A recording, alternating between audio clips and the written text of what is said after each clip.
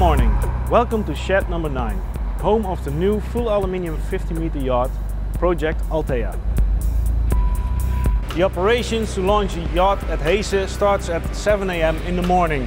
Before we flood the dry dock with 5.7 liters of water, which will take approximately 5 hours, let me take you for a special walk along the hull.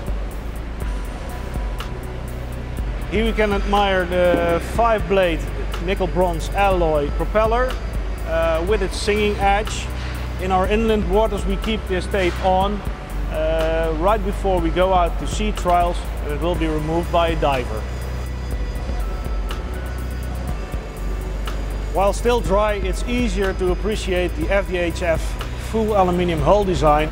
This design provides a smooth sail at lower speeds and has a range of 3750 nautical miles at cruising speed of 12 knots.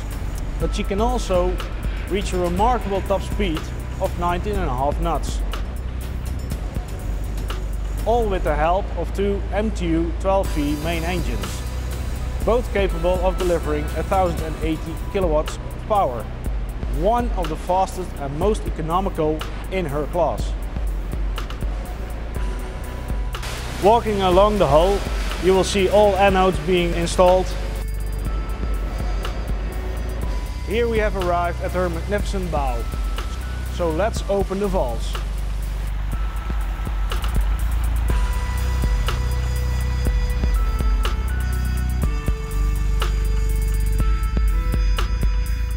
While the dock is filling up, we will go and have a look at her contemporary exterior design a design done by Frank Laupman of Omega Architects.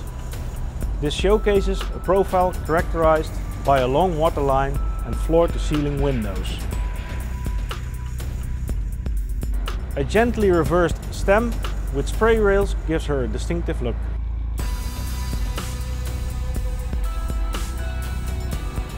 In mid-April we are going to turn the engines on and leave the dry dock.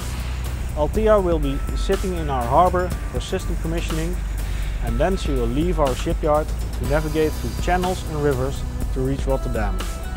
There we are going to install the mast and get her ready for intensive tests in the North Sea.